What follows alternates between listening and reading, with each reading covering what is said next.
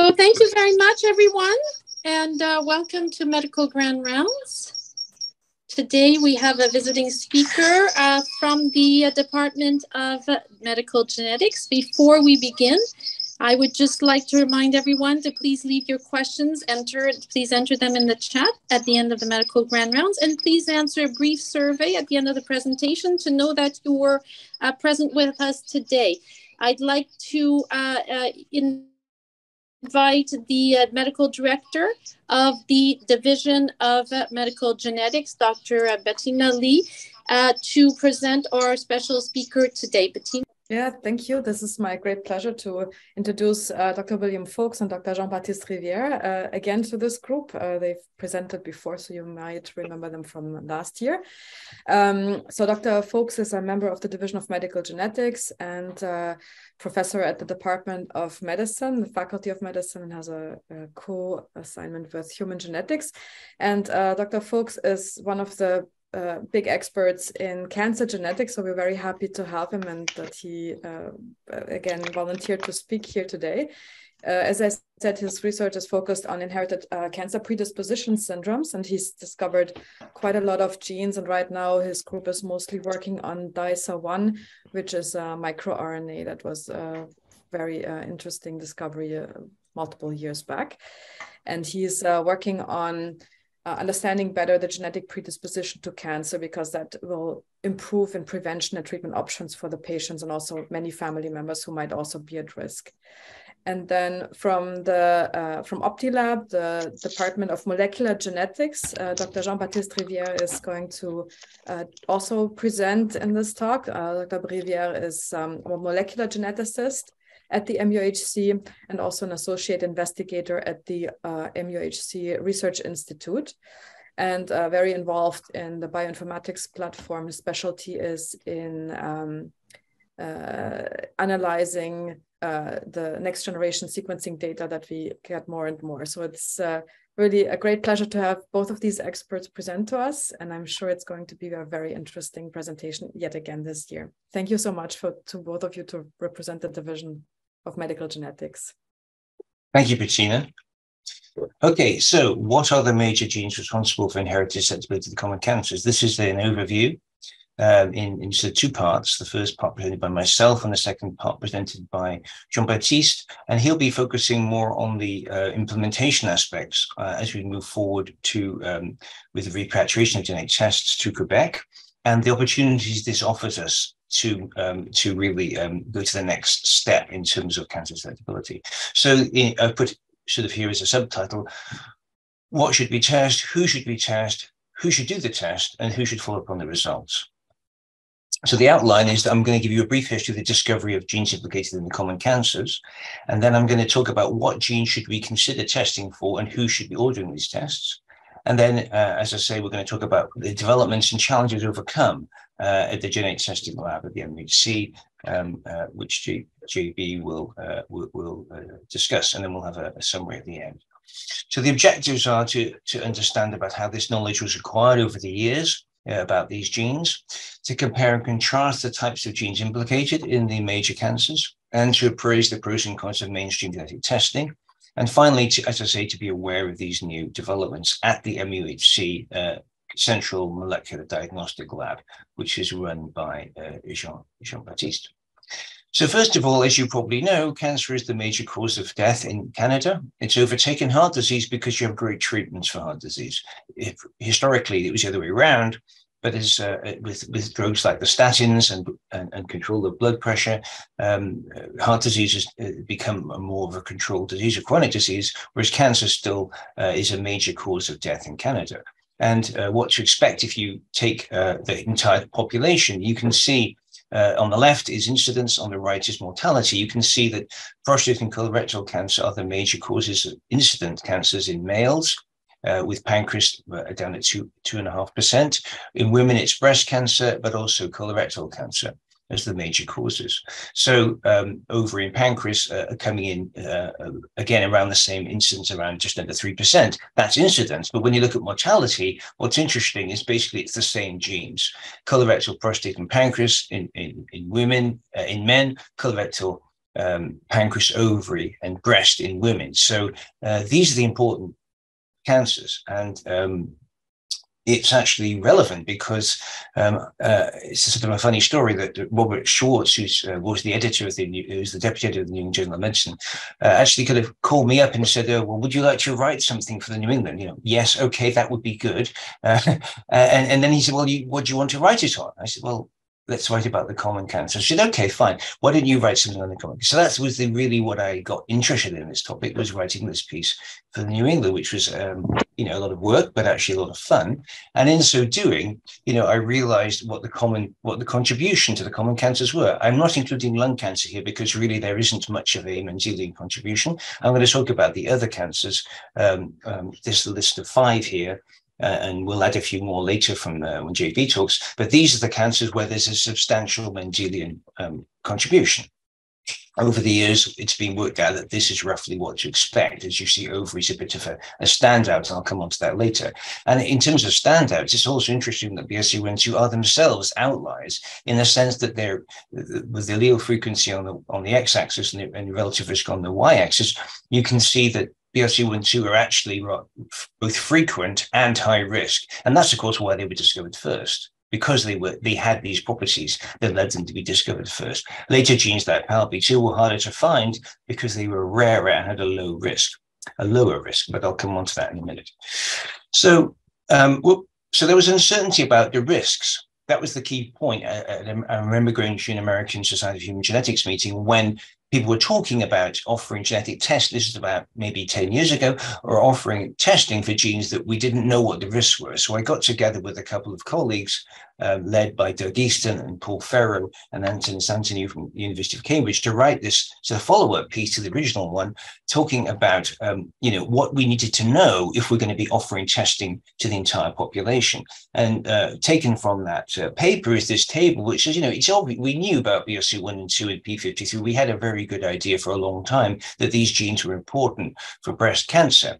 But other genes like PTEN, we really didn't, there were virtually no published estimates, even though we said, well, yes, it probably causes breast cancer. We had no, uh, we had very few estimates. And for other genes, we had good estimates, but the risk seemed to be much lower, uh, below three. And if the risk is below three, then obviously there's a question, well, how useful is that to a clinician when the risks are, you know, are, lower? But PALB2, we had a clear idea it caused a twofold risk, but did it cause a fourfold risk? Wasn't really known. And that led uh, Doug Easton and other people, and Fergus Couch in particular, to put together these enormous studies that really changed the game and justifiably were published in the New England Journal of Medicine with an editorial from Steven Narod defining which genes really were genes for breast cancer.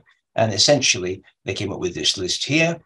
So you can see here, um, BRCA1 um, PALB2 have very high risks, whereas CHEK2 ATM uh, have moderate risks, uh, and some genes have only association with certain types of breast cancer, such as RAD51C, that only seems to cause ER negative and particularly triple negative breast cancer.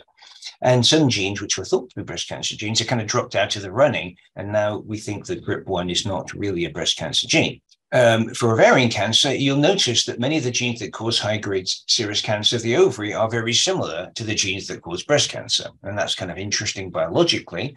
Uh, on the other hand, endometrioid ovarian, uh, um, endometrioid or clear cell ovarian cancer have a very different genetic background and are caused mainly by the Lynch syndrome genes. So you could argue that you know, it might be sensible to separate out these conditions. Whether that's actually practical, we'll get into later, uh, particularly with Jean Baptiste's talk. So you could imagine now that there are these 10 genes, which all have slightly different functions. You've got the sort of the, the moderate risk ER positive genes that don't seem to have much of ovarian cancer risk.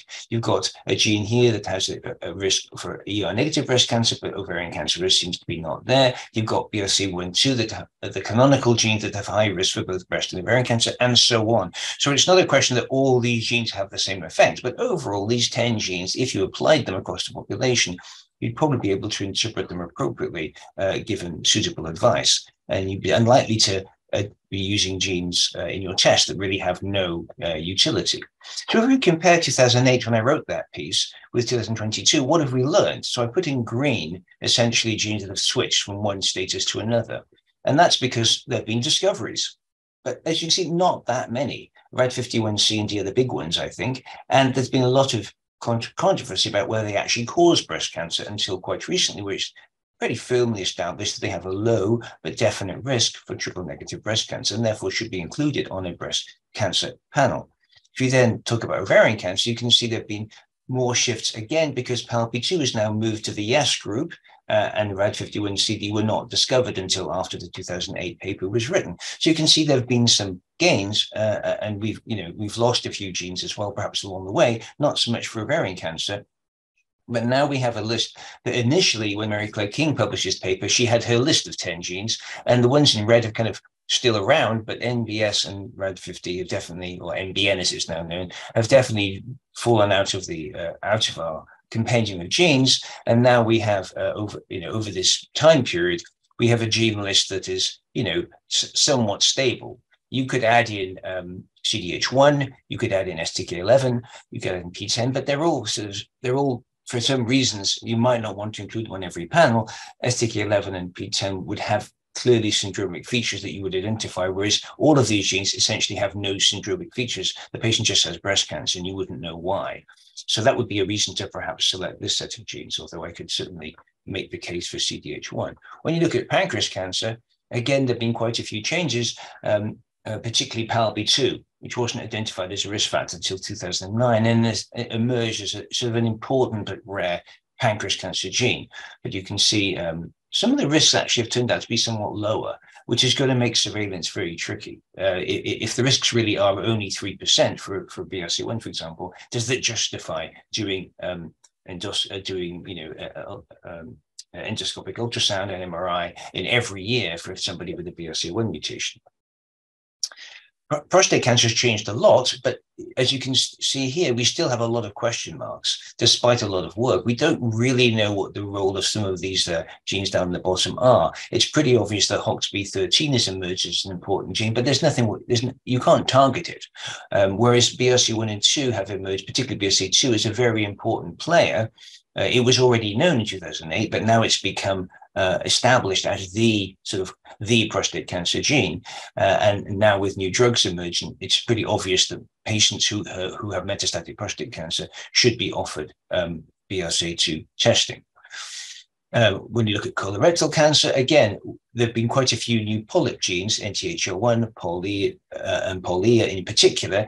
But I have to say, these are, you know, very, very rare. I think we've seen one NTHL1 um, biallelic person uh, since we started doing the testing. So it's extremely uncommon, uh, and not including it on a colorectal panel is would not be a crime. So uh, you can see here other genes like APC have been known forever, uh, and essentially you can split it into two groups: the non-polyposis group, which are sort of the Lynch-like genes, and the polyposis group. So this is now, as you can see, I've had to add um, MBT, MBD4 here uh, because it's was discovered after Laura uh, Valescu kindly gave me this slide. She's based in Barcelona, uh, was discovered recently, but these are all very, very rare. So a panel including most of these genes uh, is now on offer at the MHC. And uh, as I say, JP will talk about that. So it's important to remember that, you know, genetic counseling started at McGill with this paper from, um, from, from, um, from, Clarke Fraser in 1974. I love this bit about recent dramatic advances. Every article seems to say this,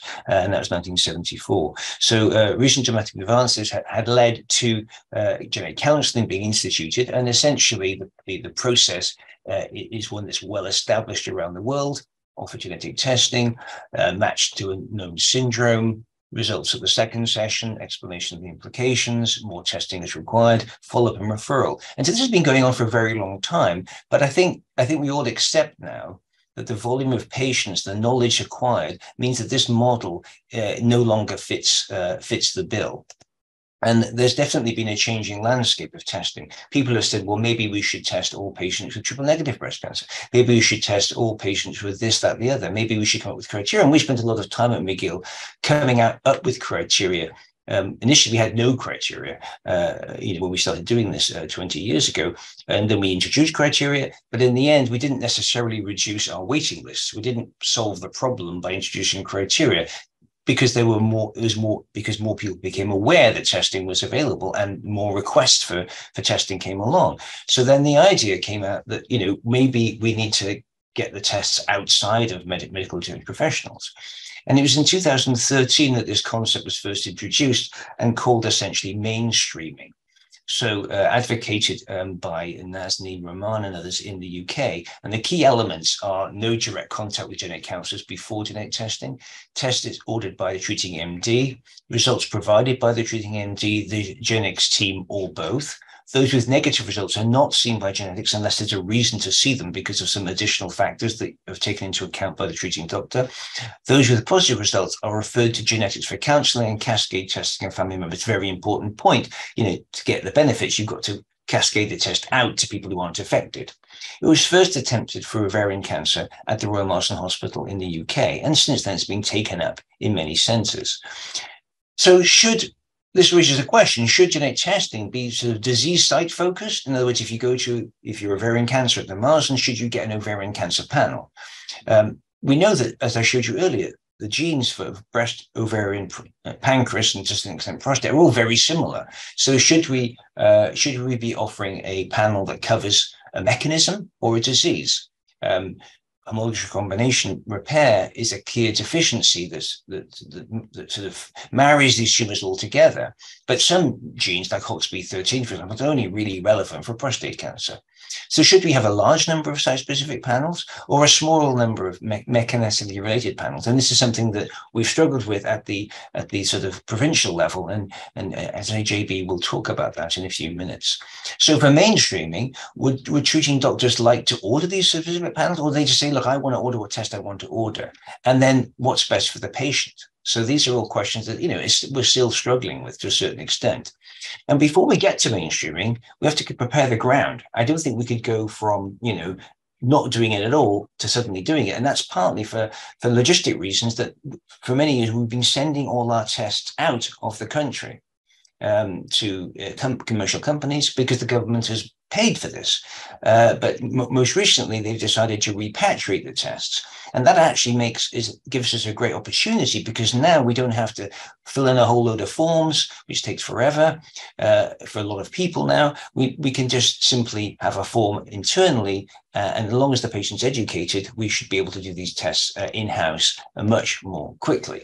So as a pre-mainstreaming, that's the word I just made up, in a pre-mainstreaming uh, approach, um, um, uh, George Zogopoulos and Antolin Kugia decided to test all incident pancreas cancer patients at the MUHC over this time period. And this was exceptionally aided by the fact the testing was free, was offered by Invitae for no, no cost. And as you can see here, if you look about BRCA mutations, we were getting 6% uh, uh, positive, 7% for other genes. So um, mean ages were not really different and not very different to, to, the actually unaffected people. We don't have that, but it's not very different. Uh, and this obviously look at that you know, very, very quick service uh, uh, turnaround time because it was sent uh, to the US and returned to us immediately. So, you know, a very nice initial study showing that uh, it's definitely worth doing this in terms of the pickup rate. Um, uh, and the other the other genes that were found were all you know valid genes to have found. They were not of the 84 genes, there's a lot of VUSs in kind of irrelevant genes, 45%, but we don't care about those really. What we care about is the variants seen in genes that actually do seem to potentially cause pan- pancreas cancer. Um, what about breast cancer? Well, we did a study at the JGH MUHC and St. Mary's uh, in two phases. We called it the uh, the Great uh, AGATA study, which was funded by the QBCF and the Jewish General Hospital, and uh, over two phases. And we basically tested initially first primary invasive breast cancer any age, and then we restricted it just because again numbers and overwhelming. There's one person doing the study essentially, either Zulika or Adrian Atayan. Um, we restricted it to women under 69 or any age of TNBC, and you can see not surprisingly, the BRCA1 frequency went up when we restricted it because the older people don't have BRCA1 mutations, uh, but the other mutations didn't. They didn't change, and that's because ATM and CHEK2 predisposed to breast cancer at pretty much any age. Um, so that was a, a sign that, again, if we use the data from GREAT, we would be able to mainstream testing effectively. Uh, the difference here, of course, is this is run by a genetic counselor. Uh, the physicians did not order the tests, but they we made it very easy for them to order these tests. All the testing was done by Dr. George Chong, who's been doing um, NGS since 2015 at the JGH, uh, and all patients were seen by a genetic counselor. So it's not exactly mainstream because the idea here is the person with cancer is seen by the cancer team, the person without cancer is seen by the genetics team, put simply. And this is the this is the paper that really sort of uh, opened the gates to this type of work. So, what's the goal of mainstreaming? Is it to test more people? Is it to identify people with actionable variants? Is it to generally increase access to testing through, through cascade testing? Is it to reduce waiting times? Is it to allow health professionals to focus on unaffected people? Is it to identify those who most benefit from targeted therapies? All these questions, you know, um, they can have different answers. Uh, and depending on what your answers are, uh, you could ask yourself, you know, what are we really trying to do here? So um, to say for, for ovarian cancer, the clear aim was to was to find people who would be eligible for drugs such as the PARP inhibitors. And this is a pro- project started by uh, genetic counselor Evan Weber with tremendous support from uh, from the uh, from the obstetric uh, from the gynecology oncology service, where this is really the first attempt to do proper mainstreaming, again, through a commercial company, through Invitae, uh, although not funded by them, launched in 2017 all patients were treated by, were tested by an oncologist, results disclosed by a counselor. But again, through the, just so many patients, in the end, it ended up being that the oncologists are now disclosing the results, which is an interesting point that maybe we'll come on to, uh, on, on to later. So from the results, look at the difference. Before, um, before the gynae oncologist initiated genetic testing program, half of all patients were tested. Once it got going, it's basically 86%, and now it's almost everybody. So once people buy into this, almost everyone gets tested. And the, the time tested was reduced enormously. And uh, a nice paper from Michaela uh, Berkovich Saditsky at the JGH, who's general counselor, showing that there was lower distress, low distress, high satisfaction. And essentially, most people were very happy with this study. Benefits were that there were a few barriers, fewer appointments, more timely access, reduced waiting times, and enhanced collaborations. All these things that are good things. There were virtually no downsides. And of course, we picked up actually a very, uh, well, um, maybe not to us in genetics surprising, but I think to many people, surprising number of mutations. So we, we were picking up essentially, as you see here, uh, we had 28 causal mutations out of only 113 women. So that shows you that um, ovarian cancer is an extraordinarily um, strongly genetic condition, way stronger than we had thought, and quite a lot stronger than breast cancer. Um, and you know, this work by Evan and others has actually been recognised by the by the Canadian uh, Health Standards Organization as a leading practice. So well done to uh, to that group for pulling this off and offering this testing to so many people. Um, when you compare it with previous studies, these are four previous studies done in the UK of ovarian cancer mainstreaming, you can see that our results fit very much in the mold. We actually were testing, they only tested BRCA1-2 initially. So they only they didn't have any other genes tested because this was early days. They didn't know about RAD51C and D, or they certainly didn't want to test for it. It was just really BRCA. But you can see adding in the other genes, such as PALB2 and RADS, do make a difference, pushing it up by another 8% with a very low VUS rate. Um, and um, the age of diagnosis, as expected, for the gene carriers is lower than the non-gene carriers. So we're, we're making a difference, I think, by identifying these people in a timely fashion. Uh, there are significant barriers to offering mainstream. And why hasn't it happened already, you might say? Well, a lack of a detailed appreciation of the risk. That's taken us, you know, it gets to 2020 for us to know really what the risks are uncertainty as to which genes to test for in which person, which indication. That's sort of bundled up with the first point. The inability to run the test in house was a major factor. And now that that's happening, that's going to, that's the first kind of condition. I think that we can do the test in house. And now we, with fantastic work from uh, JB and prior work by George Chong, that's allowed that to happen. Is there enough um, manpower for the pre-test patient packages that are required if people aren't going to have counselling. They still have to know about what they're getting into. We know this is an issue if they don't get any counselling. Are the practices in place to make sure positive results are correctly conveyed? We have enormous IT issues, as you know. So how are we going to get these results you know, from the lab to the patient and to the physician? And maybe the genetic counselor could be the key person there in the lab giving the results directly from the lab to the patient, which would circumvent the issue of forms lying around on the desk of a, of a physician because he's so busy, has 20 of these forms and doesn't get to it in time, and so on and so forth. But there are different practices and personnel at the local institutions that also has to be taken into account. So um, in the final slide, I'm going to talk to you know which tumors are suitable. Are we going to mention everybody? Probably not. But from the GREAT study, we know that uh, women under 45 have a very high incidence of BRCA1-2 mutations. We only needed to test less than 10 women to find a BRCA1-2 or PALB2 gene, gene mutation. So obviously under 45, all triple negative breast cancer, when you're considering PARP therapy, male breast cancer, people with Ashkenazi Jewish ancestry, as we said, high-grade ovarian cancer, pancreas cancer, um, uh, prostate prostate cancer that's become resistant to uh, to castration, and probably early onset colorectal endometrial cancers, and so on. So you know one can argue about um, which criteria we should choose, um, which people should should be included. But this is where we start. This is where we're starting with. And so at this point, I will I will stop sharing uh, and let uh, JB tell you about what's been happening at the RQDM, what's been happening at the uh, at the, uh, the CMDL, and hopefully we'll be able to demonstrate that we're we're, getting ready um, to mainstream. Thank you, Will. So um, before going through the, the actual gene content and the indications, I'm going to give you a brief background to them is and what a couple of years. The, the RQDM stands for the Réseau québécois de diagnostic moléculaire.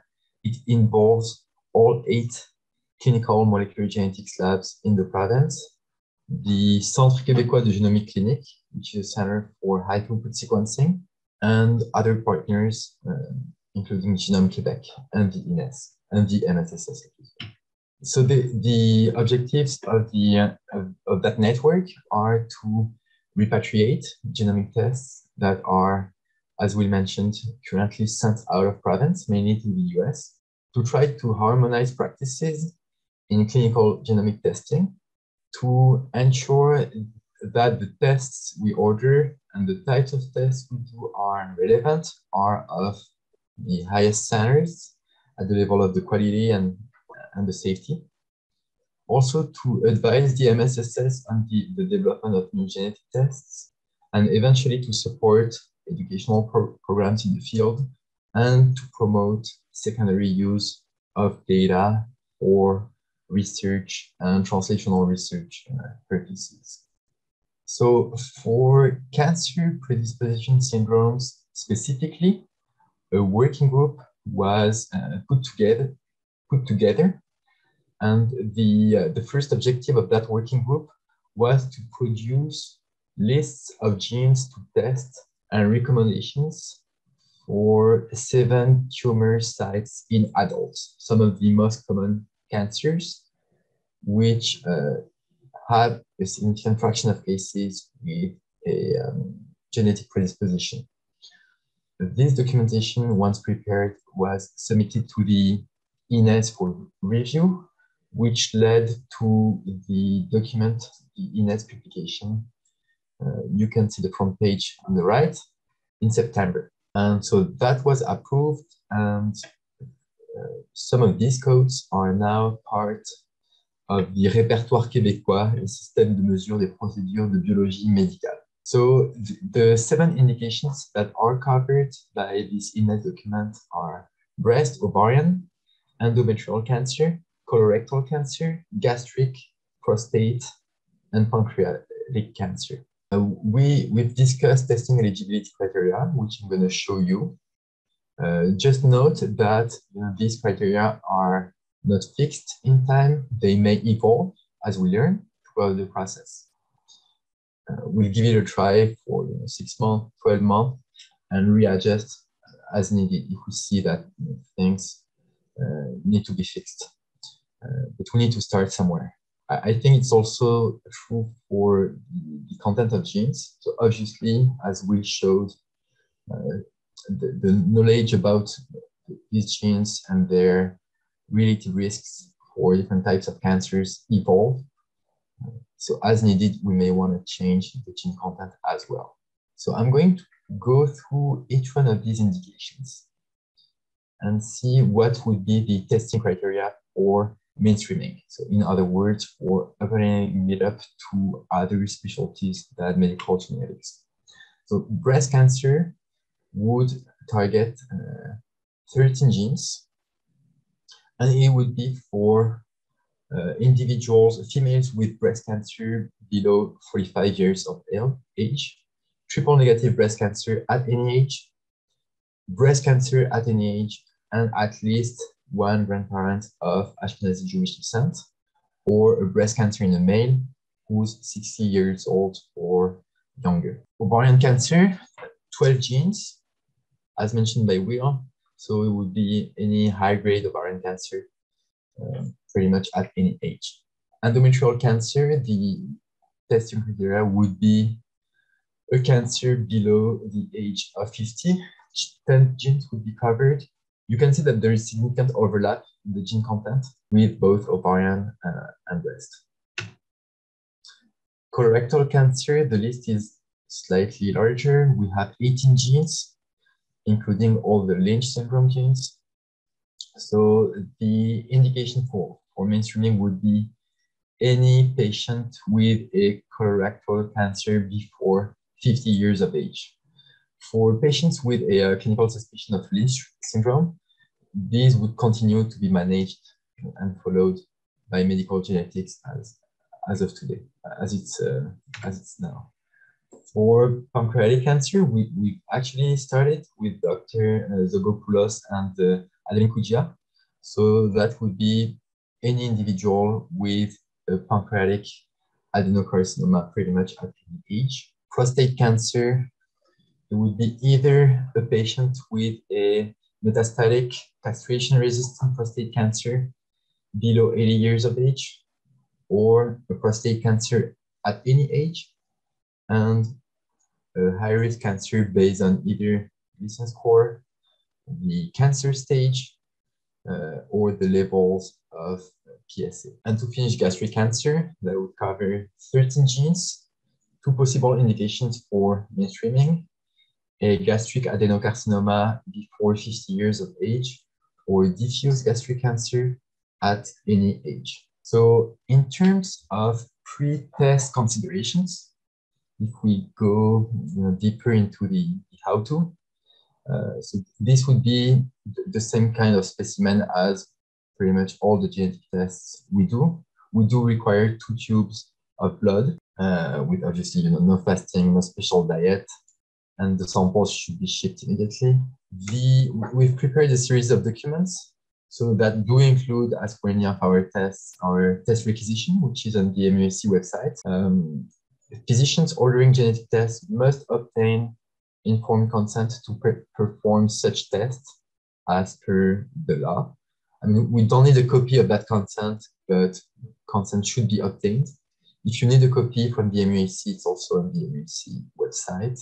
And we've also worked on testing eligibility criteria, which I'm going to show you. So in terms of the rec on the website, this is just a screenshot of the top of the rec, of the rec, just to let you know that you can download a copy of the rec on the MUHC website and you know pre-fill and save a pre-filled copy of the rec with the name of the physician, license, the test requested. For mainstreaming, it would basically be always to, to confirm the diagnosis of the, of the cancer predisposition syndrome. So this is our testing eligibility criteria prepared for um, mainstreaming. So you can see here on the top the medical specialties who could order such tests. So obviously medical genetics, but also general surgical oncology, medical oncology, gynec as well as radiation oncology. And for each one of the sites, we've uh, split the criteria into the ones that can be ordered by any of these specialties and the ones that are still restricted to medical genetics. But so basically, if you have a patient with breast and or ovarian cancer, uh, you can you know, select one of these uh, one of these uh, boxes here. Uh, for colorectal cancer and endometrial cancer, I've mentioned already, pancreas, prostate, gastric. So it's a one pager pretty quick to, to fill in, and it, it will allow us at the end of the year to collect data about you know, who did we test, for which indications, uh, which category provide uh, a, good diagnostic yield, which category not that much and maybe would require more work, etc., etc. So in, in terms of the actual test, uh, what we do is targeted DNA sequencing based on next-gen sequencing. We cover all the coding regions of these genes, plus the flanking intronic regions. Some selected non-coding regions are also covered because they are known to be enriched in pathogenic variants. The assay is designed to detect both sequence alterations in the genes as well as copy number variants, such as deletions and duplications or uh, of the genes or part of the genes.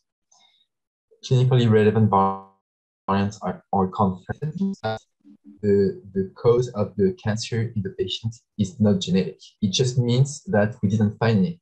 Uh, as for many genetic tests, actually most genetic tests, there are you know, tons of variants that are technically challenging and genes that are yet to be discovered.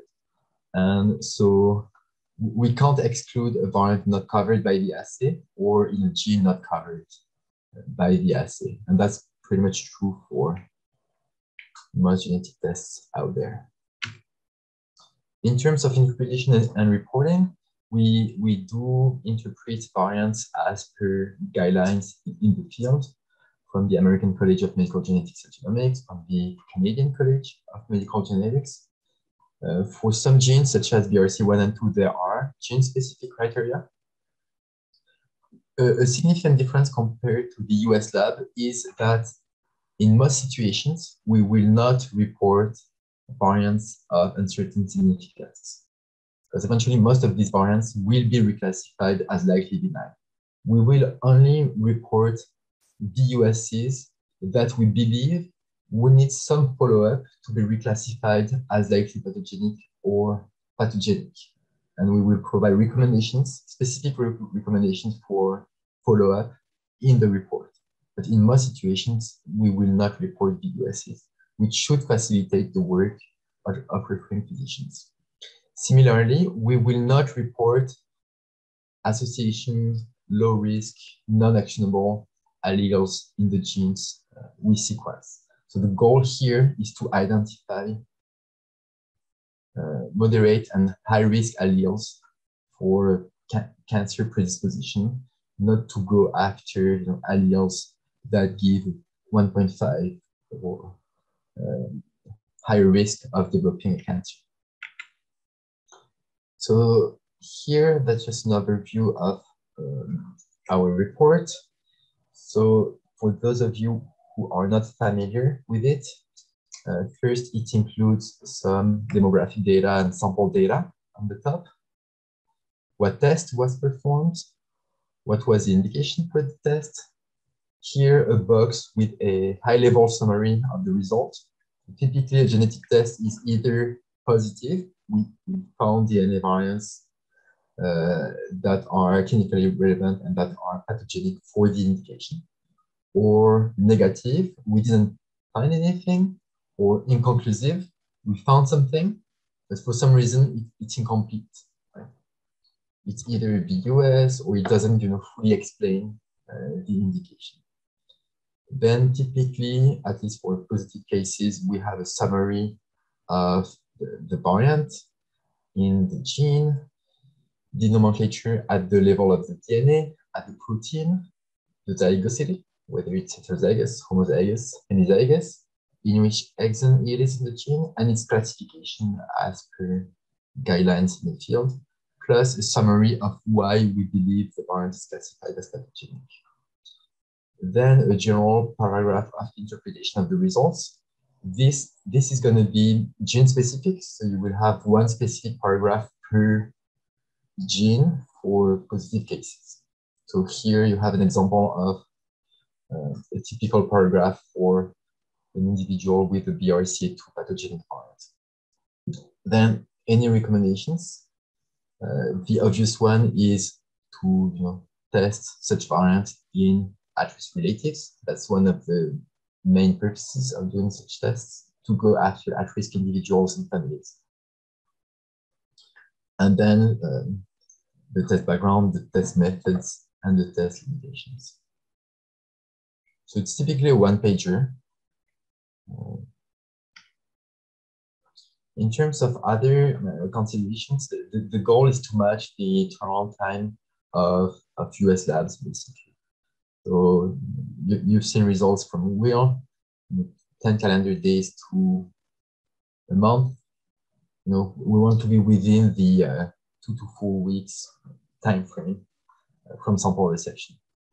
So as of today, and that's a big issue, reports are still faxed to the fax number provided uh, under requisition.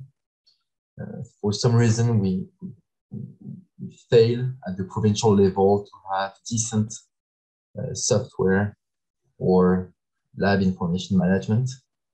Uh, but we are working at the level of the institution and the MSSS uh, to see how we could push these results automatically to OASIS and the DSQ. So just a heads up on one thing, we also have a, a, generic email address for any question we, you may have regarding the molecular genetics lab. For now, it's managed by uh, a genetic counselor, Frédéric Coulomb, and myself. So don't hesitate to touch base with us by email when you have any question. That being said, I'm going to stop sharing and uh, leave the microphone back to Will for concluding remarks. So, um, in conclusion, um, I think I hope I hope that we've discussed the identification of the most important risk genes for the common cancers. That we've shown how knowledge of the role of these genes in cancer predisposition has evolved over time, but still remains unsettled for some of the uh, rarer genes. Uh, but despite these uncertainties, we've acknowledged that it's time to decentralize the process of genetic testing and let the treating doctors order the tests. And our early experiences of versions of mainstreaming have been discussed. The role of the RQDM uh, and, uh, and, and now the CDML uh, has been uh, introduced, and we've set the stage for mainstreaming uh, within the McGill RUIS to begin in earnest we hope uh, in at least for some of the tumors in the first quarter of 2023. Uh, and with that note, I would point out that this is actually the topic of our conference in, in May uh, next year, which I hope um, many of you will attend, where we're going to be particularly discussing this from a whole, from a sort of a worldwide perspective. What's the experience in different places? Um, uh, and there's some great speakers. Uh, some of you will know these people. Um, uh, but I hope that uh, I hope that uh, uh, you'll be able to. Some of you will be able to attend and learn a bit more about mainstreaming and, in fact, all aspects of uh, of hereditary breast and ovarian cancer. So I think I will stop sharing and uh, thank you all very much for your attention. And happy for JB and myself to take any questions. Thank you so much, uh, Dr. Foulkes and uh, Mr. Rivière, for presenting this uh, really, really interesting uh, grand rounds and, and wonderful to see advancement uh, in this field that continues. Uh, let people uh, put in their questions in the chat. I must say, I was surprised to see how many labs there are in Quebec that can do this. This is really quite new that there's involvement, there's, there's such decentralization. In terms of, you know, I'm just more curious in terms of quality and efficiency, has this been decided that this is the best approach, I guess? Uh, well, I, will start. I'll let JB continue. I mean, I think it's it's a it's a combination of a political decision and a pragmatic decision. I think it would be totally unacceptable that McGill did all the testing for the entire province, even if that made sense um, from an economic point of view. I should say though, there is a Quebec lab now at Saint Justine, and at some point it may happen that all testing will be done at Saint Justine. At the moment, they don't have the capacity, uh, and there's all sorts of issues with, with with how that would actually work. But I think the the feeling was was that the BRCA1-2 in particular were such high volume tests that it made sense to decentralize them to uh, all the major uh, teaching hospitals that have genetics um, departments uh, or divisions within them. So that's my response. JB, do you have anything you want to add? I mean, it's definitely a challenge, I would say. There's a, there's a limited number of people in the province who I, I think can do clinical based genomic tests uh, Uh, it's going to take time. So, uh, I mean, we, we, try to get organized at the level of the MUHC.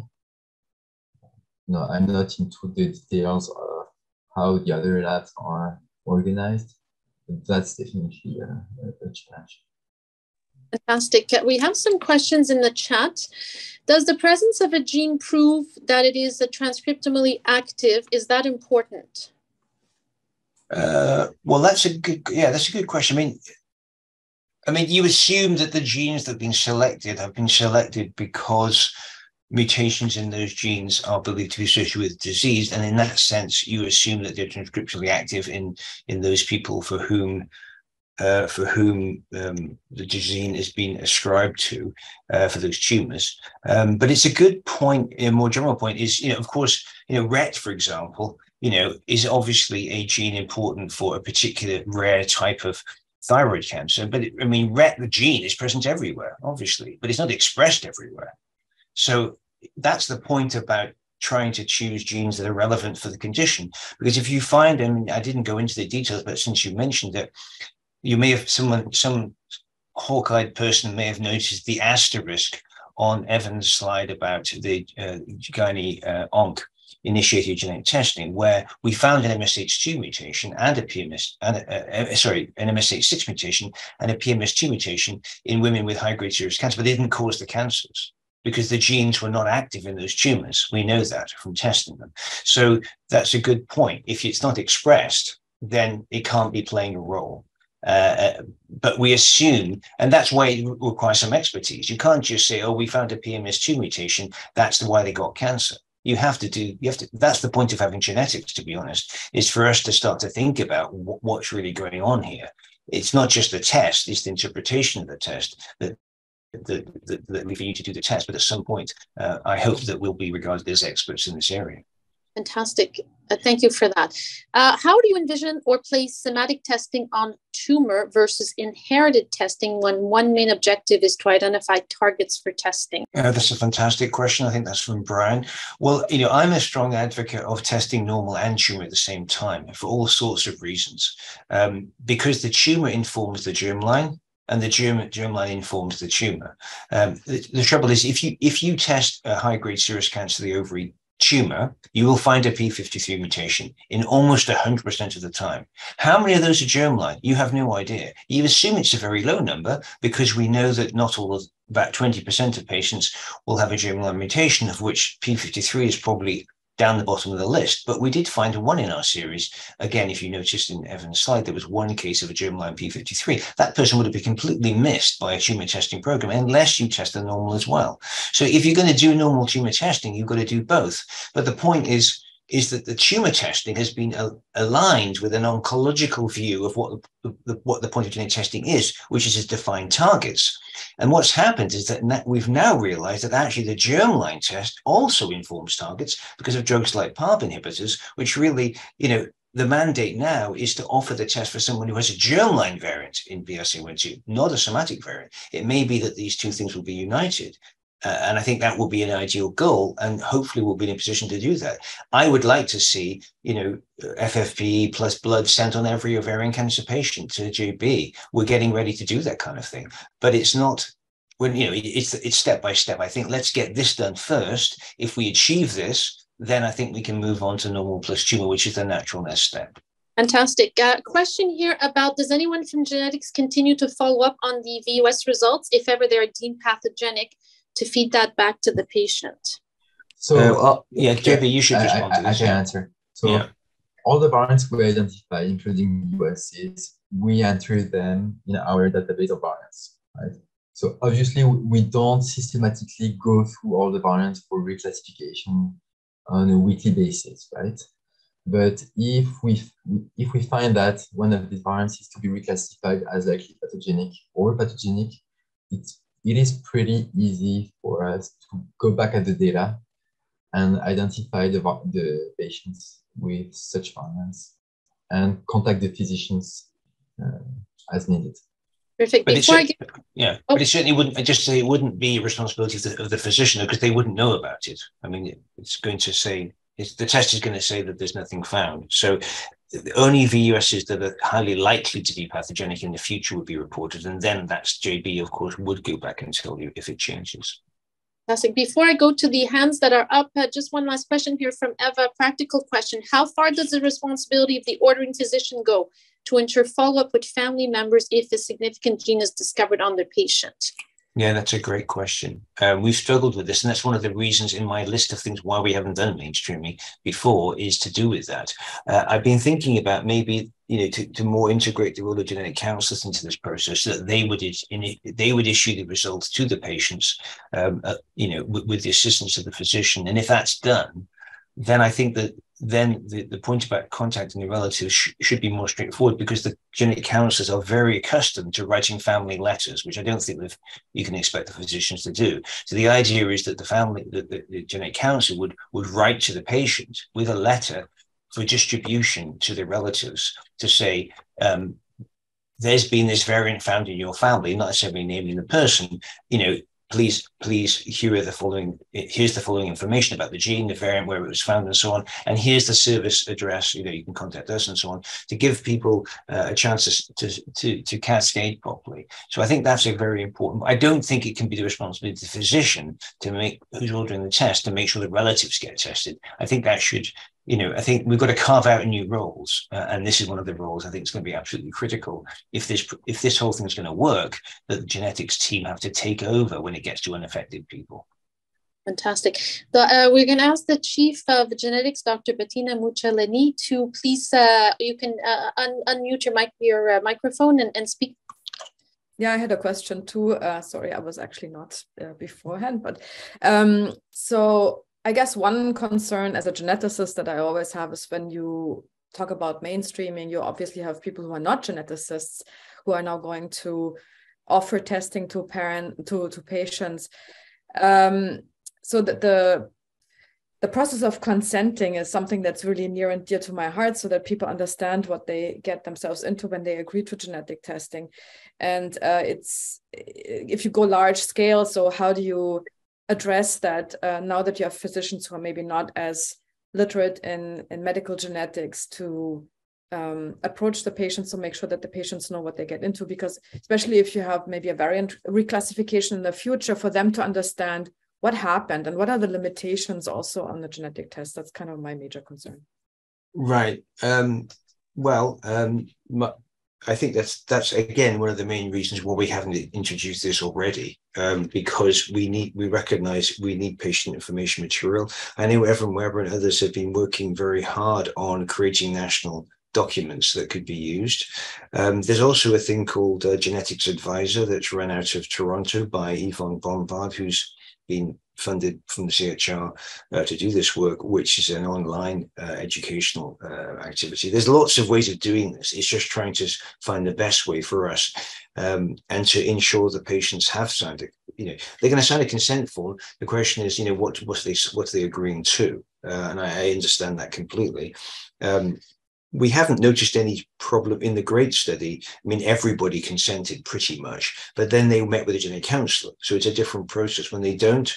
And, you know, to a certain extent, you know, as, as JB said, I mean, it's the physician's responsibility to get the signature. If the patient, if the form says they consented, then if there's any problems, it's the physician who's going to have to handle it, not me, because you ordered the test. I mean, that's the point. If you order the test, you're responsible for interpreting it, at least it, for dealing with the question that the patient says, I never consented to this. Say, well, you know, that's going to be the issue. So there's going to be some give and take here uh, in exchange for this testing. There's have to be an understanding that the consent process is being handed over to you uh, with our help um, but that's going to be something that you're going to have to have to make sure you're, you're, you're happy with, and that's why we did the pre pre mainstreaming projects. That the the physicians, the, the breast surgeons ordering this didn't have to worry about consent. That that was done by a counsellor. But as we move forward, um, you know, I think that that that can't continue, and so we're going to have to pr- provide the right kind of paperwork. And I know Evan, I know if Evan's on the call, but Evan has worked quite hard on this, and I think that's why I'm saying, hopefully, the, once that paperwork is ready, that'll be the real process by which this will happen. Once that's until that's ready, we're not going to mainstream basically, and when it is ready, we will, and we'll see what happens. Thank you. We have two minutes left. Uh, ben Smith, your hand is up. Can we just have a quick question from you? Yeah, thanks, Nadia. Thanks for the talk. Uh, I was great talk, actually. Um, I was surprised on your slide about what are the goals of mainstream testing that it didn't really state things like helping people live longer or live better. So I'm curious about uh, are there studies showing that this type of screening actually benefits people in meaningful ways uh, I guess, from the perspective of the patient or the population? And are there cost effectiveness studies to show that this is where money should be invested? Right. Um, this two, two parts of the question, I think. Um, cost effectiveness that had been done, particularly by uh, Ranjit Manchanda in the UK, clearly showing compared to other ways of doing testing, it's cost effective okay, in terms of, you know, per mutation identified, for example. But the first question, of course, is the key question. And you're absolutely right to question that. We don't really have that kind of data.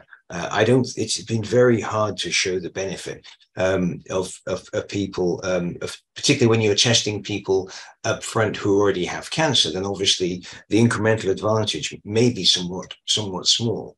Um, so the goals haven't been as lofty, perhaps, as the obvious one of, of, of saving lives, because I, I, don't want to overclaim here. It would be nice, if, for example, you could argue that the best reason to test someone for a breast cancer gene is to make sure they don't get ovarian cancer. Okay, so can you measure that? Well, it's difficult to prove when you know relatively small numbers, people not dying of ovarian cancer. It may be hard to spot that in a population, but I think that's one of the is one of the major goals. So it could be something like that. Endometrial cancer, you might be preventing a colon cancer in somebody with Lynch syndrome. So it may not be a direct effect on the cancer itself, because that may happen anyway through the kind of testing that Brian was talking about, tumor testing. But the germline testing, whether it means the person is susceptible to other tumors or the family members are susceptible to other tumors, uh, that's really where I think where the advantage will come. But you're absolutely right. Uh, there aren't the studies that absolutely show um, convincingly that this is uh, th- that that goal will be achieved by this process. Thank you so much. It's coming on. It, it is one o'clock, so I'll have to close out these rounds. There's an extra question in the chat. If I to answer Dr. Barron's question, perhaps directly in the chat. Thank you really for this wonderful presentation. Uh, very exciting to see this work moving forward.